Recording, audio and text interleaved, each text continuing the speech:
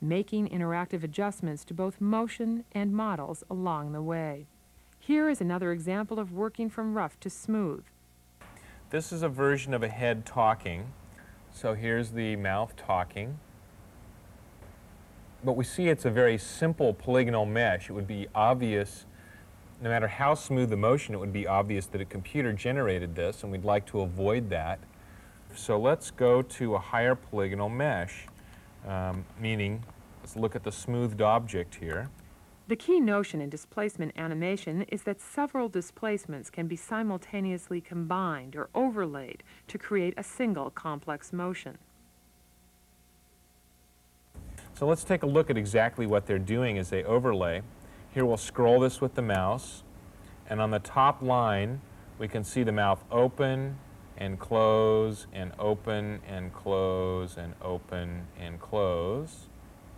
On the second line here, we can see the corners back, forward, back, forward, back. On the third line, we can see ooh, ooh, ooh. And on the fourth line, we can see a smile, off, smile, off. From these four simple displacement states, we get some very complex motion because of the ability of the displacements to overlay one another. Next, Matt animated the individual letters of a Sony logo to demonstrate the power of the interactive sketch editor. The sketch editor allows you to actually sketch your curves in time instead of having to define them procedurally or define them in terms of points of knots across a line or something like that. You can just go in and physically draw them out and modify them by drawing on them. And we'll put a little curve up here. And now if my drawing is particularly bad or something, I can run over it with a low-pass filter and smooth it out. I could maybe copy it somewhere else and then invert it for something to happen in conjunction with this. Or I can set different curve types on it. Here I'll set a linear curve. Again, I can draw on this at any moment in time and then smooth it out. Um, we can set a slow in or a slow out or a slow in, slow out. We could do a bounce curve so let's give this, say, five bounces. And so here we see a bounce, a bounce, a bounce, bounce, bounce, bounce. So it's both becoming faster in frequency and uh, less in power with each bounce.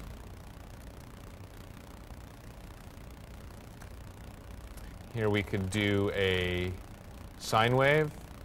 Run a sine wave through something. We'll put five sines through that. Or we can do a dampened sine wave.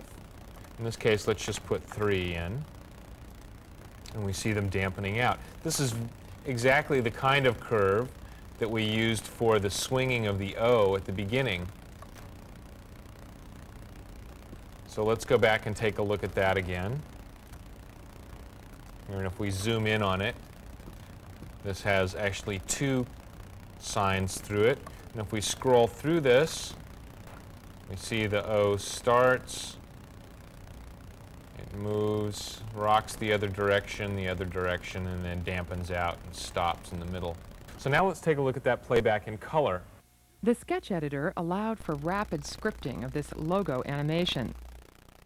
Matt's next example illustrates the benefits of Symbolics' unified 2D and 3D capabilities. We'll see the high-end look of the 3D Nike logo combined with the speed and efficiency of a 2D background. Now that we have that as a 3D object, we can animate it in a number of different ways. And back up in our black and white here, I'll play this in a forward loop. Um, I did a fly-on of this, of this Nike and then landed it. And there's, instead of having to figure out how much to move it in Z and X and Y and rotations and all this kind of stuff. What I did was I built a trajectory. And what's a trajectory? A trajectory is just a line in space that I inscribed and just said, start here, go here, go here, go here. And it just followed along that path and automatically banked itself through the corners and that kind of stuff. And then there have been some displacements added to make it wiggle like jello when it hits the end.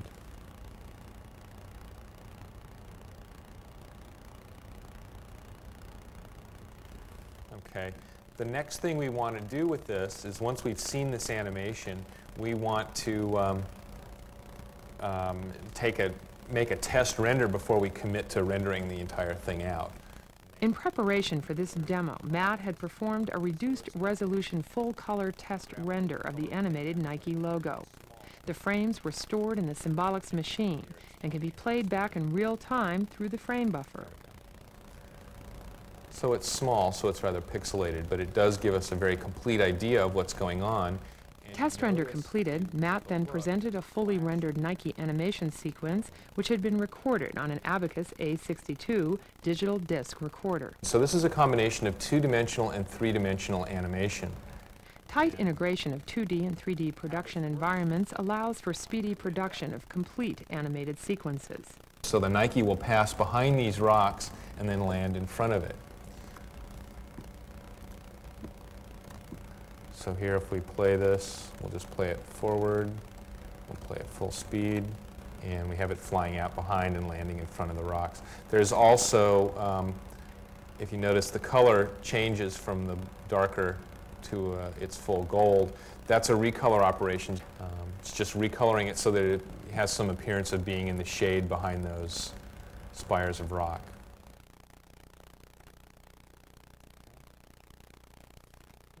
From cost-effective flying logos to the frontiers of high-end character animation, the Symbolics unified graphics environment delivers flexibility and power. What did that glow?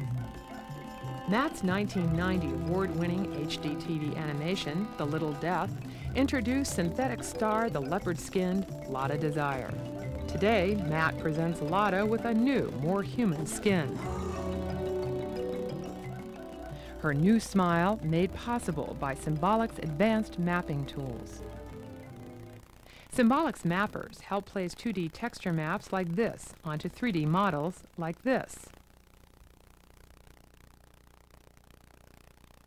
The power of Symbolics' unified graphics systems is this.